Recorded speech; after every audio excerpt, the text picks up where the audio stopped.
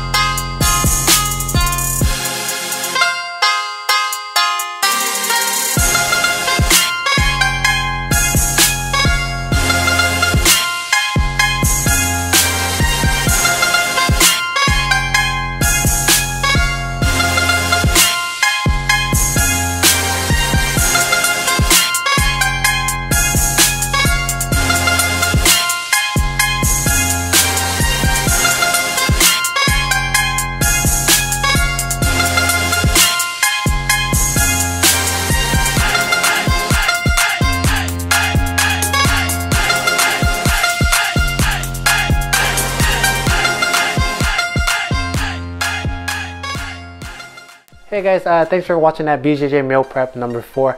Uh, hopefully you guys liked the video and you leave a comment down below and let me know. Uh, or just like it and share it.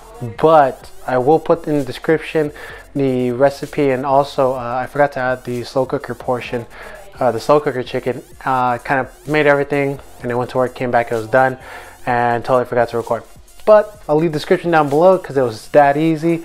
Uh, also, uh, for my last video, I know someone wanted to make uh, or wanted me to make a Hawaiian burger. Well, guess what? I made it, and I just need to push it out. Sorry, uh, I'm, I'm, listening though. Uh, also, uh, for all my other viewers, go ahead and leave a comment down below and let me know what's going on. Like, if you want to see something, maybe you have a question that I could probably answer in another video and just do a Q&A in the next video and just uh, give you my opinions and my thoughts on either jiu-jitsu or just training in general what I've been doing to prepare um, I was at 220 in the beginning of uh, two months ago now I'm at 210 209 which is great because I'm trying to come down to 200 to 190 which is pretty much where I usually am at but uh, 180 is like a super goal.